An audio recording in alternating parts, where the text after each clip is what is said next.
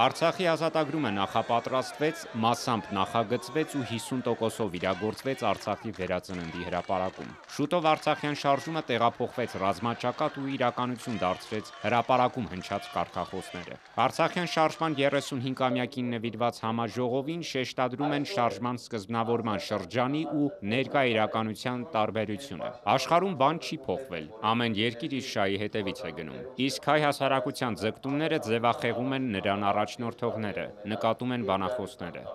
Արցախի արժեքային նշաձողը հետևողականորեն իջեցվեց հայ հասարակության հասարակական-քաղաքական դիսկուրսում: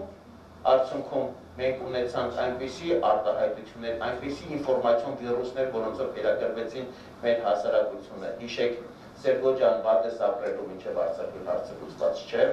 Աղդամը իմ հայրենիքը չէ, կամ մայրաքաղաքը ազատագրենք ղարաբաղցի տատանքներից, բարձր մակարդակի ձևակերպումները, որոնք տիրաժավորվում էին իշխանական բարձր լիազորություններ ունեցող կամ դրան հավակնողների կողմից: Ես կարծում եմ, որ 35 տարի առաջ քաղաքացու օրն էր, այլ ոչ թե 18 թվականի ինչ-որ մի օր, սկսեց անկման ճանապարհ ընտրել և եթե պետականությունը վերականգնվի, ենթադրում որ այս օրերից մի օրը պետք է հռչակվի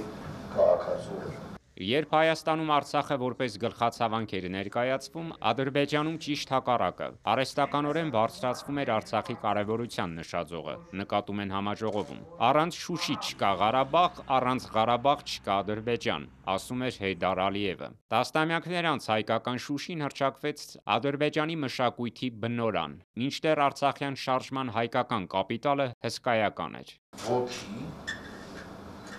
բավականին լուրջ էներգետիկա,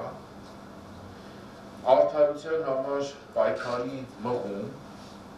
ի դեպ առաջին հերթին հենց արդարության համար, ընկալում զգացողություն միմյանց թիկունք լինելու, միմյանց ուսը զգալու, մեջքը զգալու, շնչառությունը զգալու, իրոք համաժողովրդականություն և բավականին լուրջ հույսեր և տեսլականություն: Ինչ ունենք հիմա, ներողություն եմ խնդրում, բայց երևի ուղիղ հակառակը: Իշխանություն տպավորությամբ, որ ինչ գլխացավից ուզում ես ազատվես, պիտի հանձնես: Արցախն պիտի հանձնես: Վրադ ճչաց, բղավեց, նոր բան ուզեց, պիտի տաս: Հայրենիք կուսակցության ղեկավար Արթուր Վանեցյանը նկատում է. Հայաստանի իշխանությունները Արցախի հարցում առաջնահերթությունները փորձում են փոխել և դա այն դեպքում, երբ Արցախը երեք ամիս է շրջափակված է և երբևիցե այսչափ վտանգված չի եղել: Տառացիորեն օրեր առաջ Հայաստանը հայտարարեց, որ իր խաղաղության պայմանագրի տարբերակն է ներկայացրել Ադրբեջանին և պատրաստ է ստորագրել այդ խաղաղության այսպես կոչված պայմանագիրը: Արդյոք մենք գիտենք, թե ինչ է գրված այդ պայմանագրում, թե ինչ գին ենք մենք բոլորս վճարելու այդ պայմանագրի ստորագրման դիմաց: Թող հրապարակեն, հրապարակեն տեսնենք ինչի մասին է խոսքը: Տեսնենք և հասկանանք արդյոք պետք է մեզ այդպիսի խաղաղություն, թե ոչ: Միջազգային հանրությունը տարիներ առաջ արցախցիների ընդվզման քայլը ողջունեց: Նրանց ընկալմամբ դա խորհրդային կայսրության դեմ մղվող պայքար էր: Նկատում են համաժողովի բանախոսները: Այն ժամանակ կար հստակ նպատակադրում և այդ նպատակադրումը իր հիմքում ուներ ազգային շահը: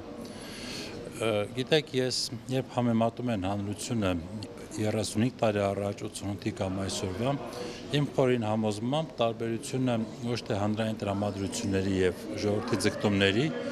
այլ առաջնորդության մեջ է, որովհետև հանրությունները միշտ նմանվում են իրենց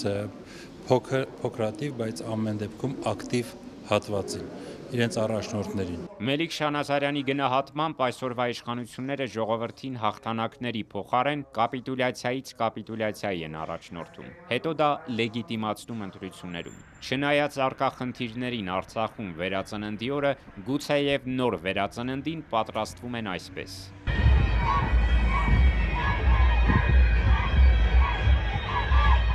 Գառնիկ Զաքարյան Տարոն Ղանդիլյան Երկիրն այսօր